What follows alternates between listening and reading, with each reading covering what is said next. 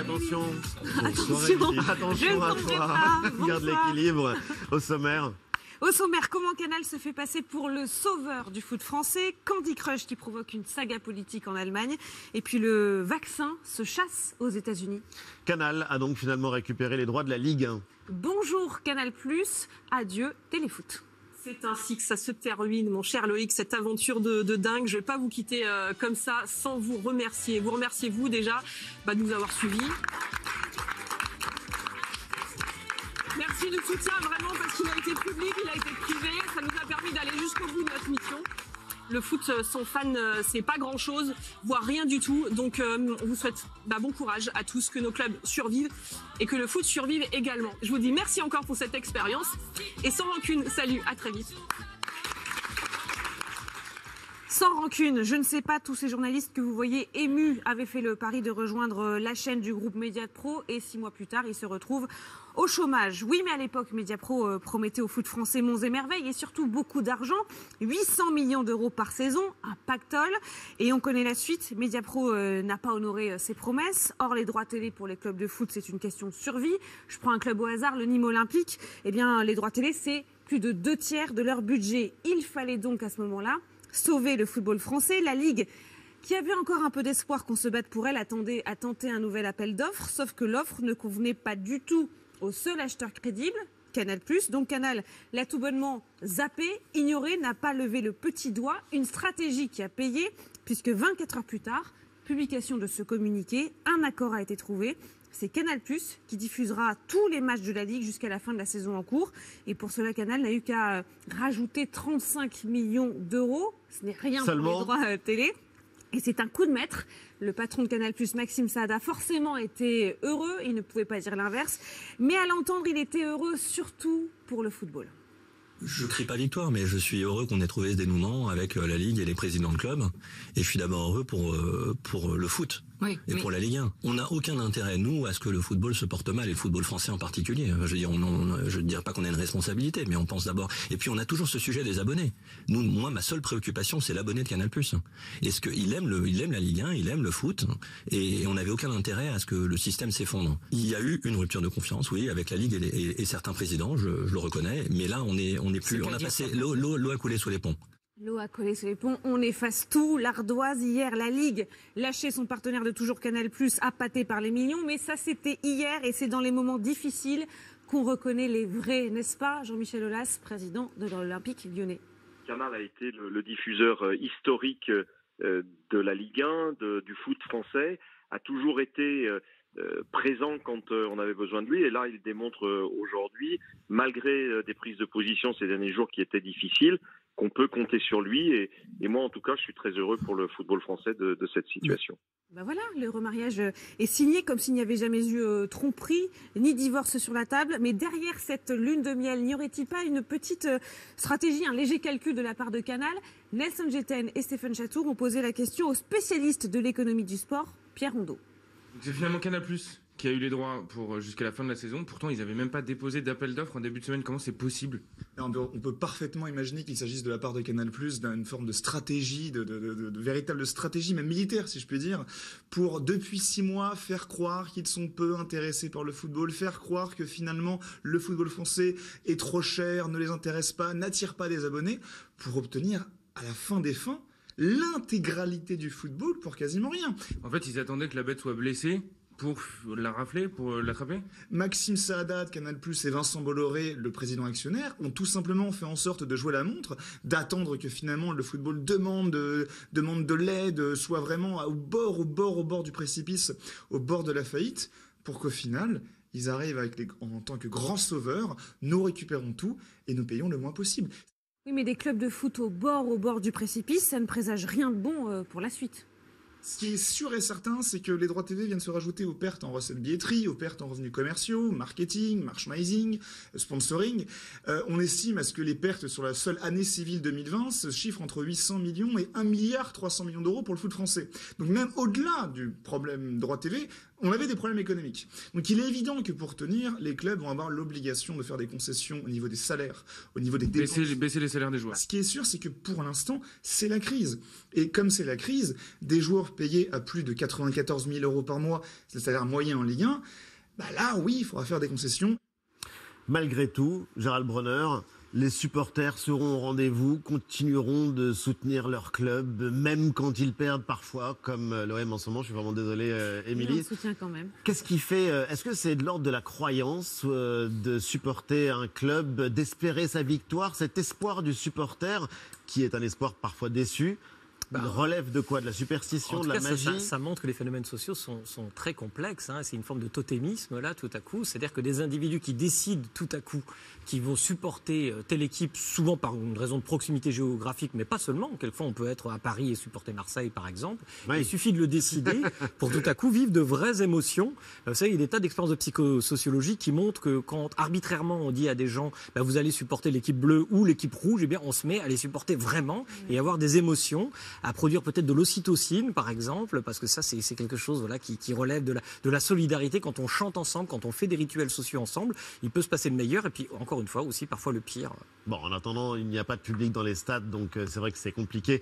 En tout cas, chacun derrière son écran. Et une autre information, jouer à Candy Crush, eh ben, ça peut attirer des ennuis, Émilie. Vous connaissez Candy Crush? Évidemment. Ce jeu complètement euh, débile, addictif. On peut y passer des heures, voire des jours à aligner des bonbons et les faire exploser. Eh bien, c'est à ce jeu que Bodo Ramelow, ministre-président, c'est comme ça qu'on appelle les dirigeants des Länder en Allemagne, avoué jouer pendant les réunions avec Angela Merkel pour parler du Covid. Imaginez, c'est un peu comme si Jean Castex avouait jouer sur son smartphone pendant les conseils de défense sanitaire avec euh, Emmanuel Macron. Avec cet aveu, Bano Bodo Ramelow a lâché une bombe. Es geht hier um Corona-Maßnahmen, um die Auslastung von Intensivbetten. Und was macht Thürings Ministerpräsident Bodo Ramelow? Der spielt während der Bund-Länder-Konferenzen auch gern mal Candy Crush. Das Handyspiel Candy Crush. Bodo Ramelow ist ein großer Fan davon. Das Spielen sei für ihn eine Entspannungsmethode, daddeln, während gerade über den Lockdown beraten wird. Dabei hat sein Bundesland die höchsten Infektionszahlen und braucht dringend bessere Schlagzeilen als die vom Candy Crush spielenden Ministerpräsidenten. À sa décharge. Et c'est ce qu'il a essayé de plaider. Les réunions avec Merkel sont des marathons réputés interminables. Et puis Candy Crush, Bodo Ramelow, premier représentant de la gauche radicale à diriger l'Allemagne de l'Est, en avait fait un argument de campagne au moment de briguer son poste à la tête de son land de Thuringe, notamment pour attirer les jeunes. Hallo Leute, schön, dass ihr wieder da seid. Ich bin der Bodo und ich wollte euch was verraten. Ich beschäftige mich manchmal mit Videogames und mein Top-Videogame ist Candy Crush. Wenn ich Zeit habe, dann seit 2011 bei Candy Crush, ich bin dabei. Level 4398. Alors niveau C'est fort, 4398, quand vous connaissez Candy Crush, vous savez que c'est un super score. Alors ici, on a été tous impressionnés. Ouais. Les politiques allemands, un peu moins. Candy Crush, was Herr Ramelow da spielt während MPKs, weiß ich nicht. Ich spiele keine Computerspiele während Ministerpräsidentenkonferenzen, weil es in der Tat um sehr, sehr wichtige Fragen geht. Es geht hier um Vertrauen. Vertrauen in die Politik. Vertrauen auch in das Krisenmanagement. In dieser Situation gehen Menschen gerade an ihr Limit, verlieren Liebste und Angehörige, sind mit den Nerven komplett am Ende, weil sie nämlich in der Videokonferenz keine Zeit haben, irgendwelche Spiele zu spielen. Encore moins convaincus par le score de Bodo Ramelow, voire hyper en colère, les Allemands qui se mobilisent contre le Covid. mich so verhalten würde in meinem Job, dann würde ich wahrscheinlich rausfliegen. Ich finde es eine absolute Frechheit und einen Schlag ins Gesicht. Zum einen als Rettungsdienstler. Wenn ich sowas lese, was der Ramelow da gemacht hat, ich als Gastronom, der schon seit November gucken muss, wie er irgendwie zurande kommt, sowas darf es nicht geben, der sollte zurücktreten. La 4400 morale. à Candy Crush, c'est quand même pas mal. hein. Oui, c'est mais très quand admirable. il faut avouer, là, elle n'est pas du tout pardonnée. Non, ça c'est sûr. Mais notre réalisateur Bruno Pinet, qui n'en est qu'à 1800, est vraiment très jaloux. En l'occurrence, euh, c'est intéressant parce que dans votre livre, vous dites que nous n'utilisons pas bien notre temps de cerveau disponible. On connaît l'expression, mais vous regrettez vraiment qu'on perde notre temps à jouer, par exemple, à Candy Crush Alors, on, a, on a manifestement. Des vidéos porno. Exactement, dans Oui, votre livre. Pas la même Il y a chose. Dans le livre. Il y a toutes sortes effectivement d'attractions, mais les jeux vidéo en constituent une bonne partie. hein. Quand on regarde d'ailleurs, vous savez, vous vous avez un smartphone, vous avez une un temps d'utilisation, vous pouvez voir ce que. Et donc on sait que statistiquement, le jeu vidéo, Candy Crush ou, autre, je ne suis pas très spécialiste, attire beaucoup. Le lui, c'est une victime des dark patterns, évidemment. Mais alors, je comprends quand on est dans une très longue réunion, qu'on a l'impression qu'il y a des temps morts.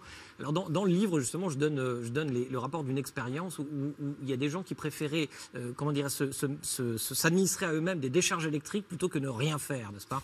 On a quelquefois ce sentiment, mais quand on attend, alors peut-être dans Oui. certaines réunions, c'est pas pour l'excuser, hein, bien, bien entendu, mais enfin, ça, ça peut se comprendre. Jusqu'à présent, on n'a pas encore vu ça en conf de, de rédac. Non, mais c'est parce que c'est passionnant, c'est pour ça. Alors, il n'y a pas qu'en France, euh, Émilie, que l'attente pour se faire vacciner peut paraître interminable. Il y avait les, les méfiants, les anti-vaccins, mais face à la pandémie, la tendance est en train de s'inverser. Il y a de plus en plus de monde qui ferait tout pour recevoir le vaccin du Covid. It is around 7 a.m. I am here waiting with all the other vaccine chasers. This is the sixth hour that Inside Edition producer Carly Bagangito has waited in line. We sent her there to find out how this unofficial wait list works. So a lot of nothing really from officials. All of this has been kind of hearsay, um, but you know we're all hoping to get a vaccine. On les appelle les chasseurs de vaccins parce que comme des fans d'une rockstar à l'époque étaient prêts à camper dès 7 heures du matin devant une salle de concert, bah ça c'était avant, eh bien aujourd'hui des chasseurs de vaccins sont prêts à camper dès l'aube devant des centres de vaccination. All of these people are waiting outside of the forum just to try and get a leftover vaccine. Some of them have been waiting in their cars for over an hour in the hopes of getting a dose that goes unused. I'm having difficulty getting an appointment for my father, so I wanted to see how the process is today before I come and bring him to try and, you know, get a leftover uh, vaccine at the end of the day because I've been trying to get an appointment for the past week for him and it just keeps failing. The website keeps crashing. We might come back tomorrow because um, we don't mind the rain, and it's supposed to be pouring rain tomorrow. So we'll see. Maybe come back tomorrow. You're willing to wait out here in the rain to try to get the vaccine? You bet. Qu'il pleuve, qu'il vente, qu'il neige, ce qui les motive, c'est l'espoir. L'espoir de prendre la place d'une personne qui ne se serait pas présentée à son rendez-vous et ainsi limiter le gâchis des doses périmées, car une fois ouvert, on le sait, le vaccin ne se conserve que 6 heures. Sauf que ce n'est pas du tout le fonctionnement officiel, donc ceux qui vaccinent, gèrent les rendez-vous, tentent de les dissuader. I don't blame anyone for showing up with the hopes that they might get a vaccine, but this isn't the right way to do it, and we discourage it.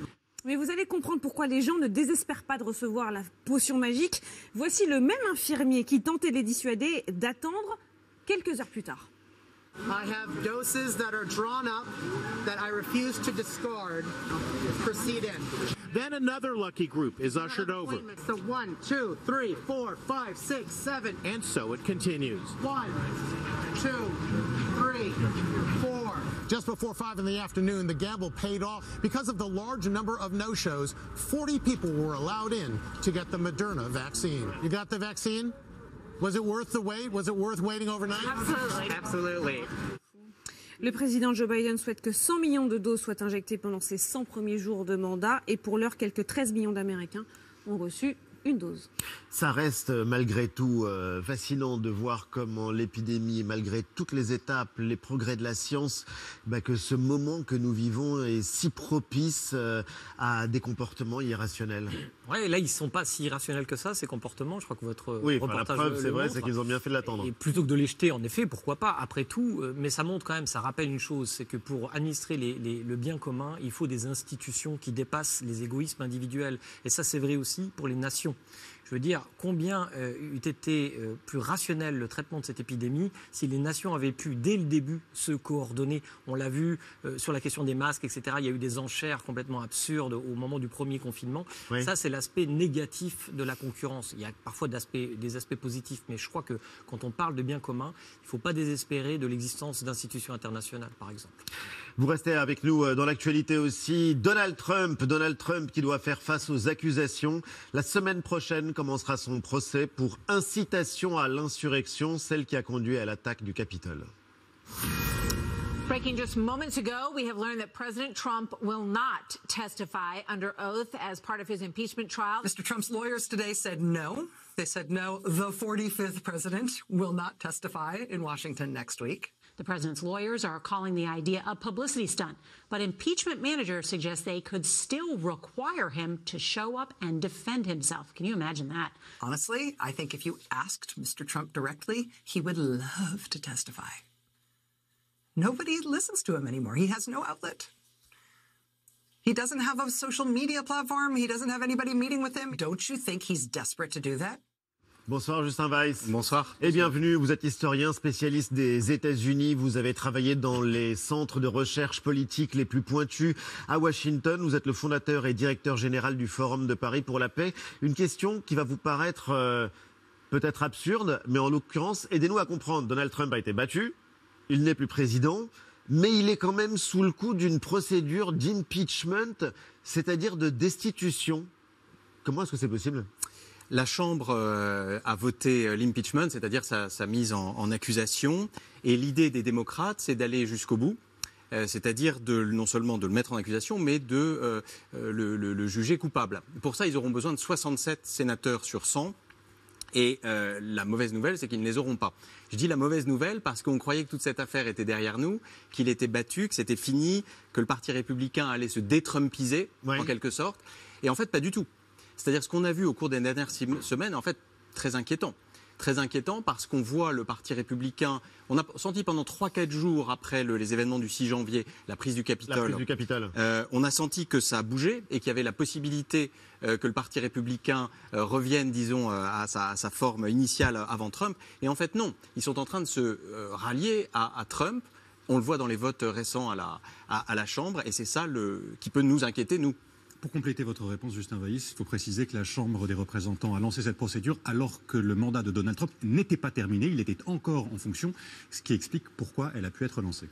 Bien sûr, et, et leur insistance, c'est évidemment pour qu'ils ne reviennent pas en, voilà, en 2024. C'est ça l'enjeu. poser comme question. Donc c'est du symbole ou c'est une tactique politique? C'est du symbole, c'est aussi une réparation que demandent les démocrates, que demandent tous ceux qui ont subi euh, y compris les, les, les, les députés euh, qui, ont, qui, ont, subi l'assaut du Capitole, cachés pendant cinq heures dans un, dans un, dans un bureau. Euh, et évidemment, le, le, le, la, la, grande question, c'est et l'enjeu de ce, de ce, de ce procès-là, c'est est-ce que Trump va être, disons, blessé par, euh, par cette euh, mise en accusation, éventuellement euh, cette condamnation, condamnation, qui est peu probable, peu ou probable, alors oui. condamnation peu probable parce que le parti, on, on ne trouvera probablement pas les 17 sénateurs républicains pour voter en plus des 50 démocrates, Démocrate. pour arriver à 67 sur, sur 100. Euh, et donc, euh, au fond, il ne se présente pas tout simplement parce qu'il n'y a pas intérêt.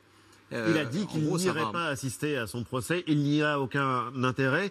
Il garde des soutiens, vous le disiez à l'instant, et c'est assez frappant de voir qu'il reste mobilisé à ce point et qu'il prenne la parole aussi publiquement. This process is completely unconstitutional.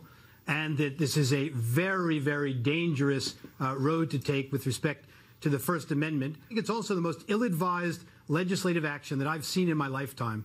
It is tearing the country apart at a time when we don't need anything like that. The Democrats aren't going to stop with attacking President Trump. They want to go after the free speech and the rights of all Americans, and I think that's a dangerous precedent. Traduction bah, Les deux arguments euh, principaux des, des, des républicains, d'abord c'est non constitutionnel. Euh, et ça, euh, les professeurs de droit sont plutôt d'accord pour dire que ce n'est pas le cas. C'est constitutionnel, c'est possible de euh, le condamner même après la fin de, de, de son mandat. Puis deuxième argument, ça va diviser le pays, dont on sait qu'il est déjà très divisé, très, très, polarisé. Et, et, évidemment, il ne peut y avoir de réconciliation que s'il y a d'abord justice. C'est ça que répondent les, les, les, les démocrates. Mais en réalité, derrière ces deux arguments, les républicains s'abritent parce qu'ils voient bien que la base euh, s'ils si ne s'abritent pas derrière ces arguments, si euh, ils votent la condamnation de Trump, euh, que la base va euh, voter contre eux aux prochaines élections en 2022. Elle pourrait se rebeller, ça pourrait faire euh, raviver la flamme, la flamme trumpienne. C'est un procès, on peut dire historique? Ah oui, c'est historique. D'abord, oui, c'est le premier président à être, à être jugé deux fois. C'est et il y a un personnage qui attire déjà à la lumière. Laissez-moi vous présenter le sénateur qui va présider le procès de Donald Trump, Patrick Leahy, 80 ans, troisième personne dans l'ordre de succession du président américain, né à Montpellier, capitale en France? du Vermont, non pas à Montpellier en France, mentor de Kamala Harris, mais surtout immense fan de Batman. Il a en effet joué dans cinq Batman. Ça, c'était juste après la sortie de Dark Knight 2008, Christopher Nolan.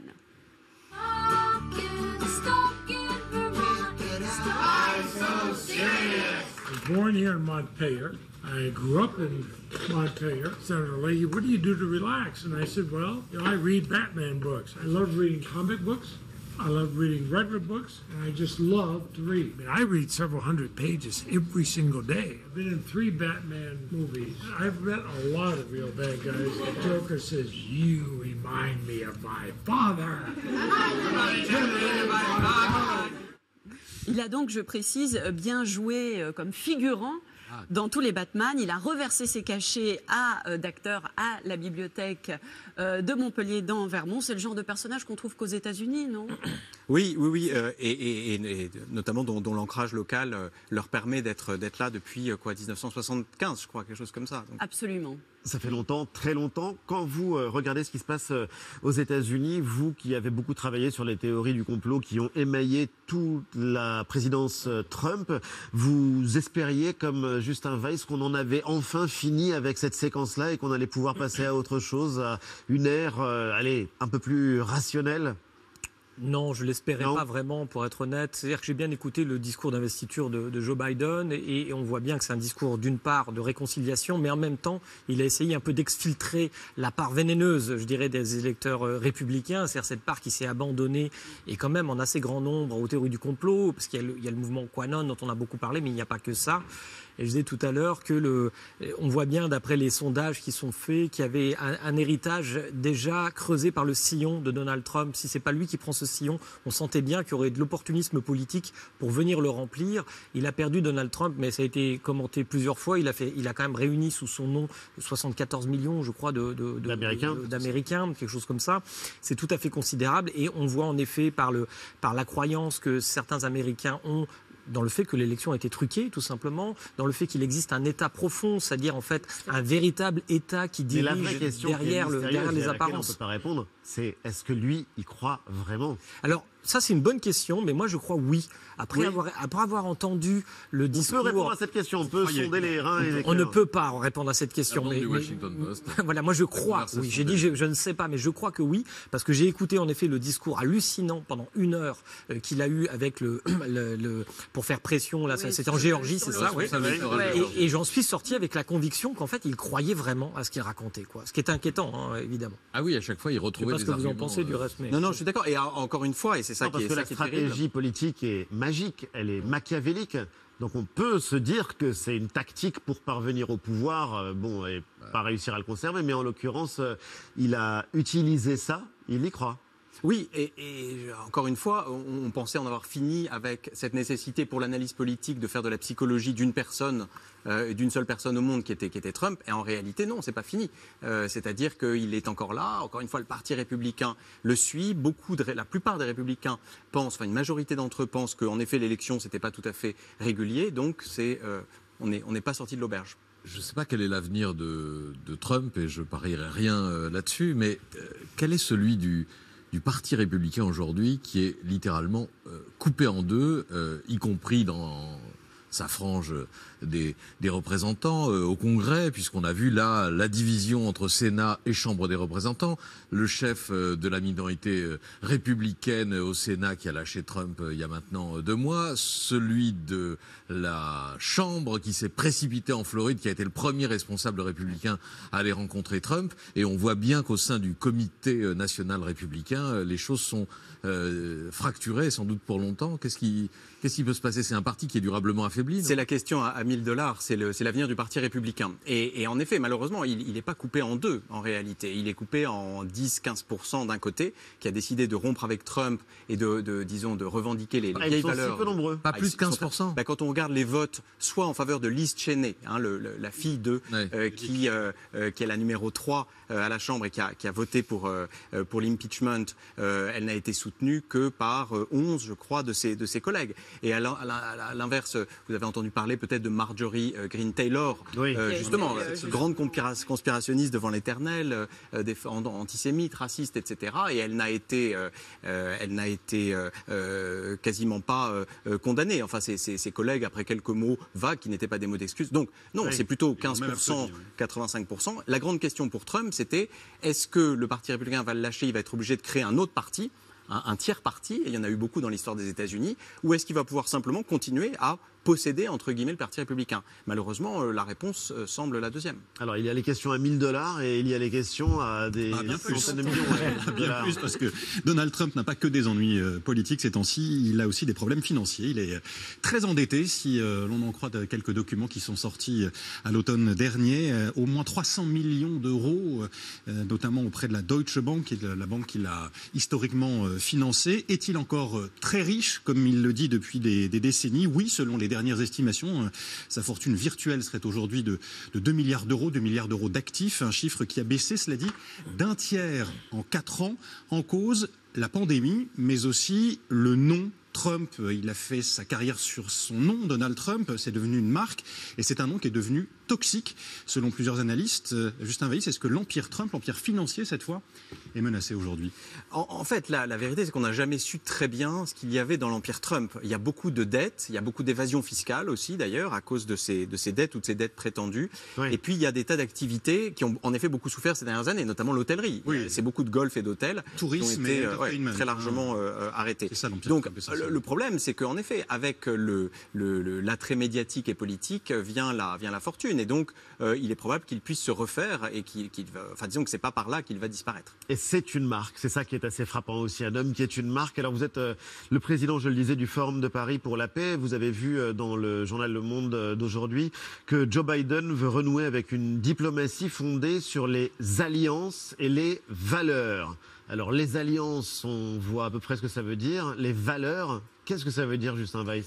Ben, c'est l'idée qu'après quatre années de, de- de proximité avec tous les dictateurs de la planète, avec Kim Jong-un, euh, avec euh, Poutine, avec Sisi et d'autres, euh, le président des, des États-Unis va renouer avec euh, les Européens, les alliés asiatiques euh, démocratiques, Corée, Japon, euh, les Australiens euh, et, d'autres. Euh, et d'ailleurs, euh, Biden a, a- a convoqué un, un sommet des démocraties pour ce, pour ce printemps. Alors évidemment, ça pose des tas de, de questions. euh, euh, qui est une Lesquelles? démocratie, Oui. etc. Mais enfin, en tout cas, euh, l'idée générale La France est que il semblerait. Euh, L'idée générale est qu'il y a un défi lancé aux, démocraties par la Chine et la Russie, et notamment sur le plan technologique euh, et sur d'autres plans aussi, et que ce ne sont pas juste des, systèmes autoritaires neutres, mais ce sont des systèmes, euh, disons, idéologiques qui risquent de faire reculer, avec l'aide de tous les, les moyens modernes, notamment d'in- d'information, etc., les démocraties.